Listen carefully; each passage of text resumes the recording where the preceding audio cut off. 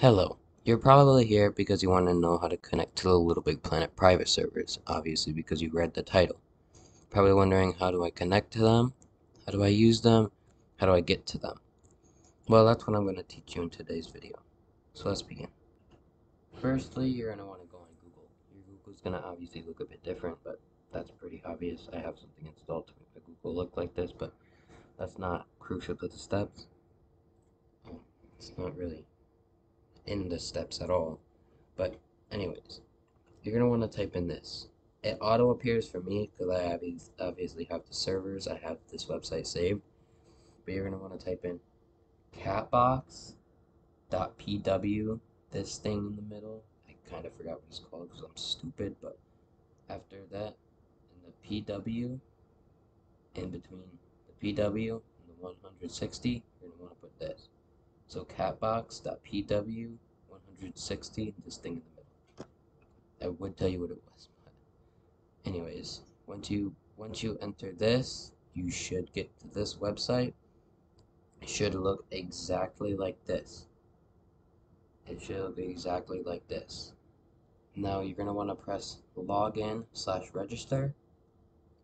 Once you're to this page, you're gonna want to put in username and password your username and password have to be the exact same as your PlayStation Network.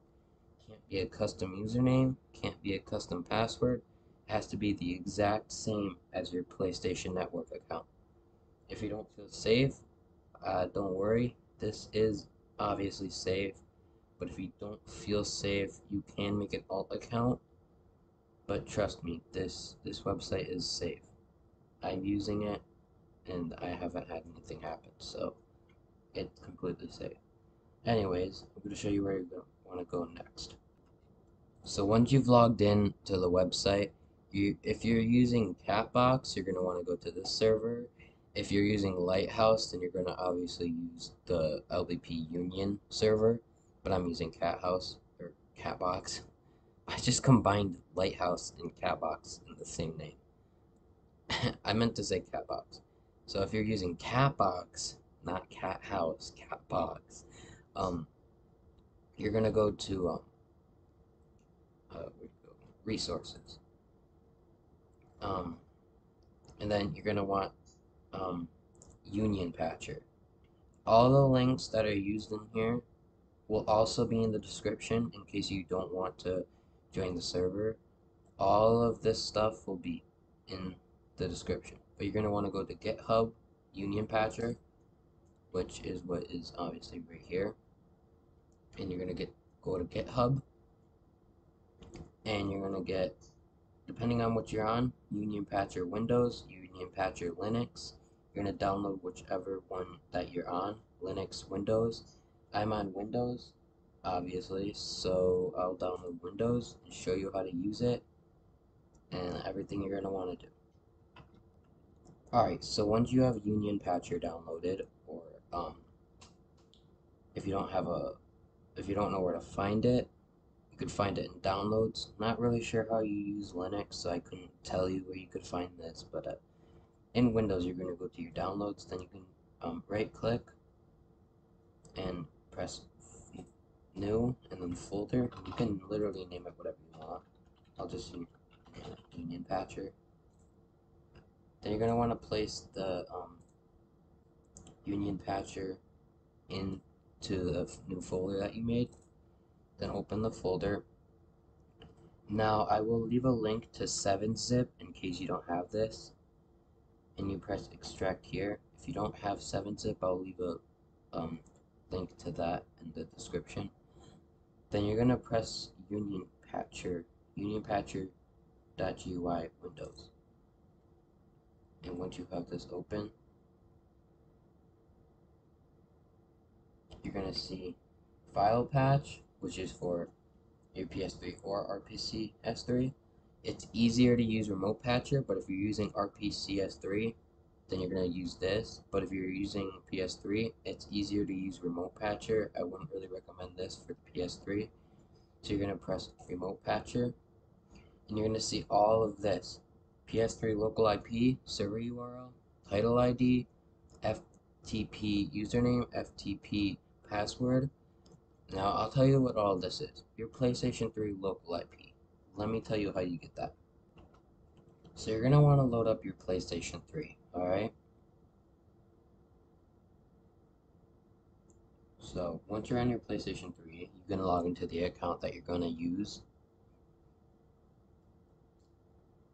Then you're going to want to go to your settings, then system settings, then you're going to go all the way down to system information. Now I'm obviously not going to click on this because I don't want you to know what my IP is, but once you click on system information, you should see your IP. You're going to want to type it into that box. Don't worry, it's safe. This patcher is made by LBP Union, and if you don't trust them, don't worry, it's completely safe. If you're wondering why they need your IP, that's how they can tell which PlayStation to connect to. And also don't forget you're going to need PlayStation 3 HEN or some sort of custom firmware. This does not work on an original firmware. You're going to need PlayStation 3 HEN or some sort of custom firmware. I use PlayStation 3 HEN. But once you've got the IP, you can place the IP in here. The, ser the server URL is going to be the pinned comment in the um, description, which what you're going to want to do, here, I can show you what to do. So this is the server link. I'll have this in the pinned comment in the description in the um, comments, and you paste the server URL in here. You don't go to the link because it's not a link; it's the server URL you're going to paste this into the server URL and then title. if you use special edition like I do, I'll show you what to type, but I'm not really sure what you use for the other ones. But um if you want to know how to get to it, I can show you. But I'm not really sure the disc boots for uh, or the title IDs for um, any of the other games, but I can show you how you can find them. So if you don't know how to, um, if you don't know your title ID by the top of your head, which I don't think anyone would, you can go into Multiman and wait for Multiman to load up.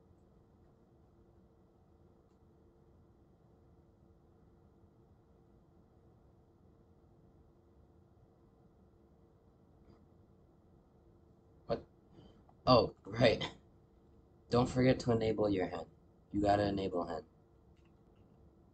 Alright, so once you've enabled hen, then you go to multi-man and let multi-man load.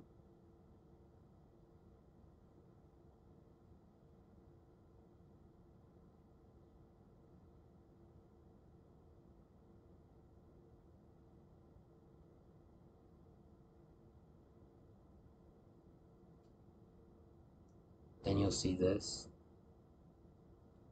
Obviously, if you've used Multiman before, I don't need to tell you. So here, so you go to dev HDDD, or HDD, not, not 3Ds, HDD. I'm kind of tired, sorry for saying a lot of wrong things, but it's dev HDD 0. You're gonna go there, then you're gonna, then you're gonna go to game, not games, game no S, just game. Then you're gonna look for your Little Big Planet um this uh thing. So if you don't if you're not sure which one it is, you can check every single game file that you have and click on the icon. And once you find Little Big Planet 2, you'll know that you found the right one. And you're gonna copy its um, name, its exact name into title ID and then you should have the title ID and then it should be able to know which game it needs to patch. Let's move on to the next step.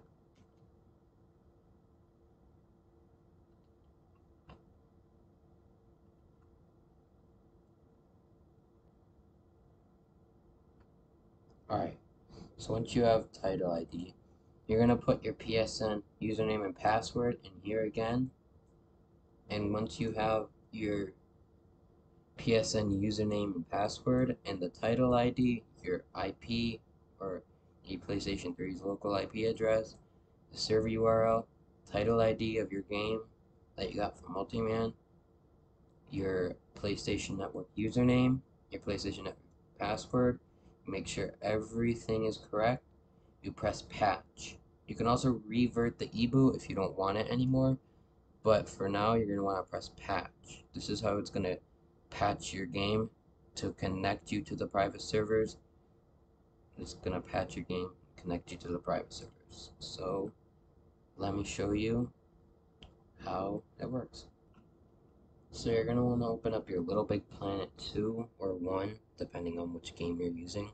I'm using 2 because my Little Big Planet 1 broke, so I got to get a new one. But you can use 1 or 2, not sure about 3.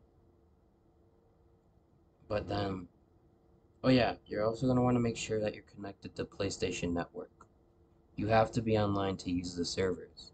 So you're going to want to make sure you're connected to PlayStation Network before you load up your game. Then, while your game loads up, you're going to want to you're going to want to go back to the Catbox um, website. Then once you log back into the Catbox website, you're going to sit on this page and wait for authentication while your Little Big Planet's loading up. And um,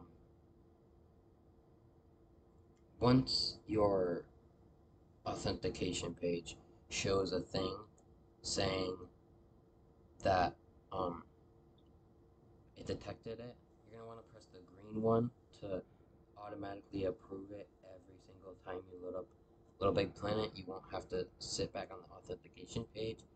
But if you don't want that and you want to just approve it one time, you can, but I recommend automatically approved IP address because that's a lot easier. And then after you approve it, you can go back on your little big planet. And obviously, once you load up, you'll be connected. But I haven't logged back into PlayStation Network, so let me do that real quick.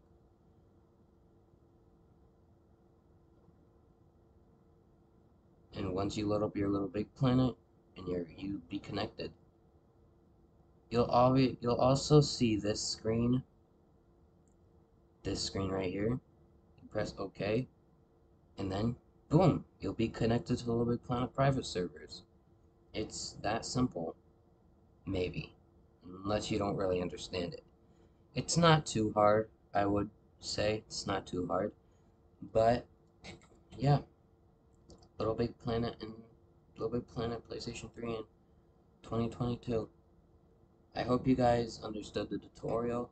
If not, I'm sorry if my instructions weren't clear, but if you did, congratulations, you're connected to Catbox or Lighthouse, whatever one you decided to use. I hope the tutorial was easy to follow and enjoyable. Um, yeah, I hope you guys were able to connect. See ya.